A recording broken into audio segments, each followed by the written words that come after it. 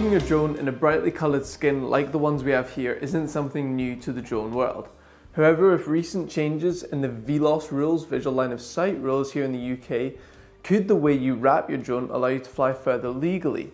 Let's find out and don't forget to hit that subscribe button as we continue to push for a thousand subs. Now, general wraps for your most common drones are pretty easy to come by, especially as the biggest drone company, DJI famously, doesn't release very bright products compared to companies like Autel. So in order to keep VLOS and possibly even have a better chance of finding your drone if something were to go wrong, you can stick on one of your basic wraps, like these ones. Personally, I would recommend this and you will notice a difference compared to the light and dark greys of the original drone exterior when flying and you should feel more comfortable going a little bit further within reason of course.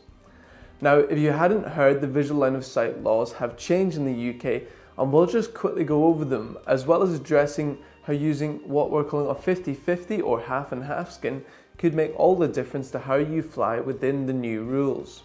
The new definition of keeping your drone legally within visual line of sight is that you must be able to monitor the aircraft's positions, orientation and surrounding airspace at all times.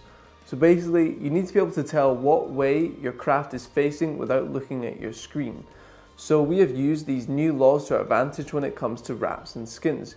Using 50-50 wraps such as this, you can more easily tell what way your drone is facing and obtain a better visual line of sight. Now, the reason for side to side and not front and back is that you'll be able to tell the orientation from whatever way it is facing. Don't get me wrong, it isn't going to win any awards for style, but it's practical. Besides, it's more important to be safe, legal, and have better looking shots than a better looking drone. You could even go one further and attach some lights to your drone to make things even easier. Just remember if you're using a sub 250 gram drone such as your Mini 2 or Mini 3 or Nano Plus, that lights and wraps can make it over 250 grams, meaning you can no longer claim to be flying the sub 250 gram category. So just make sure to weigh it all on some light scales before flying. So as a bit of an experiment, I'm going to show some of these drones with your basic wraps at distances, starting with the Mini 2, showing it at 50 meters, then 100 meters, then 200 meters. Now, obviously you're starting to lose it as it gets further away and I could just about see it. My eyesight was slightly better than the camera fully zoomed in, but it gives you an idea. And then obviously the Mavic 2 Pro with this green that wasn't all that great. I can't see the green being huge apart from I quite like the color green so it looks quite good but we thought we'd show them all off and we'll show that at 50, 100 and then 200 meters.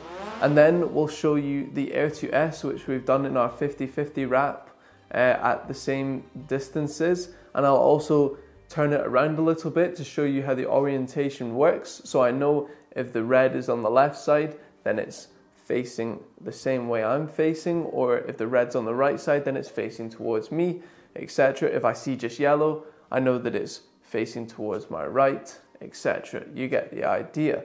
It's it actually works really well. I would say I could easily look at it and I could go right I know it's going that way and it you know it it just means you're keeping with the laws. And if someone to say, you know, have you got visual line of sight? Can you tell which way the drone is facing? You can say, yep, yeah, I know it's going, I know it's facing that way because I can see the just just the yellow color.